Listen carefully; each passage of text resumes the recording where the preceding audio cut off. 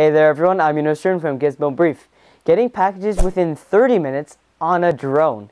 It's not science fiction and it's coming through Amazon. Let's learn more. Yeah, it's true, and it's really unbelievable. On 60 Minutes, Jeff Bezos, the CEO of Amazon, just revealed their, their plans to make deliveries by drones. It's actually an octocopter and it enables Amazon to give you faster deliveries than ever before. When you order a product 5 pounds or less, Amazon will put it into a container, load it up on the drone, and it'll fly autonomously to your house. Bezos said that the drone has around a 10 mile distance from the fulfillment center.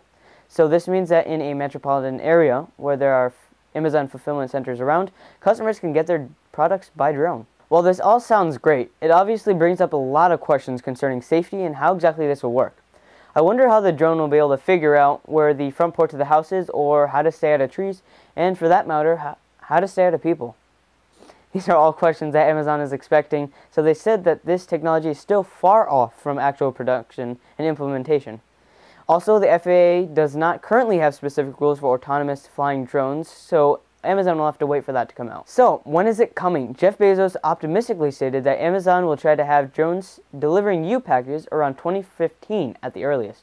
If you're interested in seeing the test flight that Amazon uploaded, I have included the link down below so you can check it out.